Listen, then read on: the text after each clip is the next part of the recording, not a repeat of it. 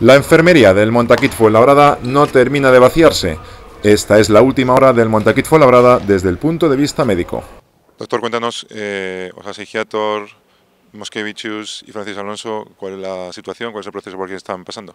Sí, vamos a ver, eh, presentan un, cuadro de gastroenteritis vírica típico de, las, de los cambios estacionales y eso pendiente un poco de, de la evolución. Han ido mejorando progresivamente, pero ahora mismo hay que seguir valorando su situación.